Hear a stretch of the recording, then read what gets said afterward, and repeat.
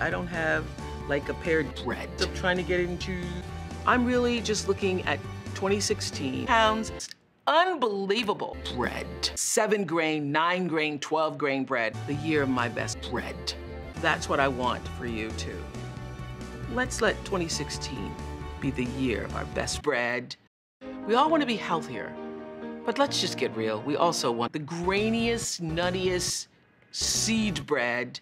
It's not counting calories. It's counting bread, which actually is like kind of a game. One bread, two bread, four bread, six bread, seven bread, nine bread. I love bread. I have eaten bread every single day. And, uh,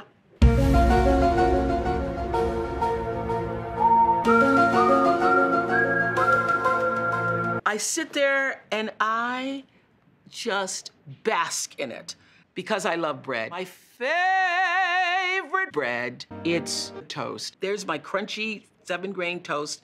I just love it. This is the joy for me. Slice of bread. One slice of bread. I don't deny myself bread. I have bread every day. I have bread every day. Bread every day. Bread every day. I have bread every day. That's the genius of this program. Love bread. Having the bread literally gives you points. Tomato, no points at all. Basil leaf, no point at all. Two points for the toast. There you have it. Add Another one. for the toast. Or if you want to go hog wall crazy, add one slice of bread over one slice of bread. When you realize that you don't have to give up bread, that's when you can really manage everything. I don't have to have bread anymore